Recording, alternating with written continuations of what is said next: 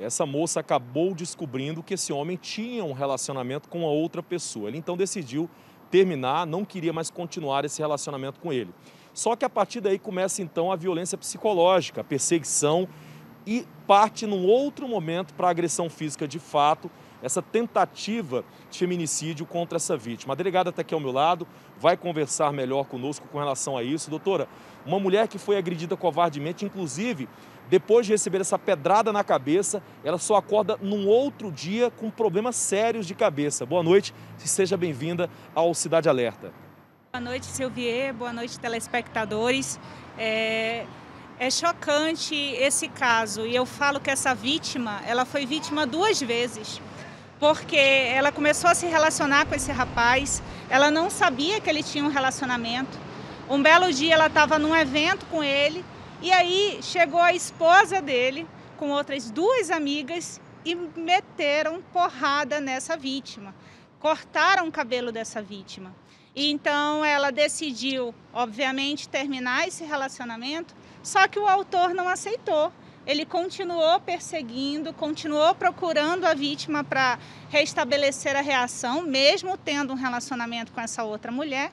E aí, no dia 17 de julho, ele foi até a casa da vítima e ameaçou, falando que se ela não voltasse para ele, ele iria matá-la. Ameaçou ela, os filhos, os familiares. E no dia seguinte, Silvier, ele foi até a casa da vítima injuriou a vítima. Ele estava com ciúme porque ele viu a vítima conversando com um vendedor aleatório e, não satisfeito, pegou uma pedra e desferiu esse golpe na cabeça da vítima. Imediatamente ela desmaiou e ela só acordou no dia seguinte no hospital com sérios problemas neurológicos. Ou seja, o cara casado, a namorada que ele arrumou sem saber nada, descobre ela naturalmente não quer continuar com esse relacionamento e o cara casado, o errado da história, ainda se acha no direito de agredir a mulher, tanto psicologicamente quanto fisicamente. Ou seja, mesmo casado, ele queria continuar com essa relação completamente torta.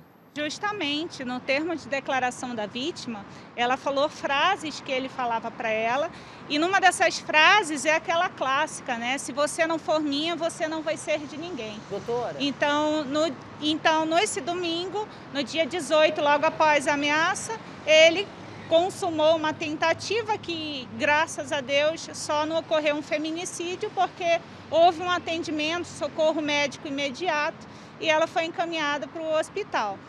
Doutora, a senhora falou em problemas neurológicos, ela teve sequelas ou ela conseguiu ao longo aí dos dias se recuperar? Então, Silvier, quando ela acordou no hospital, ela ficou completamente transtornada, porque essa vítima, ela tem cinco filhos. Então, imediatamente ela pensou, quem, quais são as pessoas que estão cuidando dos meus filhos? Ela assinou um termo de responsabilidade para sair naquele dia do Meu hospital. Deus. Então, a partir deste cenário, ela não, ela não continuou no hospital, ela não teve o tratamento adequado e a médica, quando deu a alta não autorizada, falou: olha, você precisa retornar. Muito provavelmente você vai ter que passar por cirurgias neurológicas, você vai ficar com algum problema. Então a gente ainda está levantando todas as informações, mas muito provavelmente, Silvier, ela vai ficar com sequelas. E esse monstro? Doutor, ai, ai, doutor, olha. com ele? Silvier? O, o Fred. Oi, pois não. Vou... Não, eu, eu vou pedir para a senhora cuidar dessa mulher, viu? De todas formas, a senhora é tão forte, tão pulso forte, é tão humana, tão feminina e humana ao mesmo tempo, não é no sentido de feminismo, é, é questão de humanidade, cuidar do próximo. Cuida dessa mulher para gente, qualquer coisa que precisar, pede ajuda, ainda mais com cinco filhos, a gente às vezes não está podendo trabalhar, o que ela precisar, até de questão financeira, a gente pode dar um suporte aqui na Record, fazendo uma reportagem, tá bom, minha flor? Silvia, só uma pergunta Fala, é, rapidinho, doutora. E esse autor, esse criminoso, ele chegou a ser preso? Qual é a situação?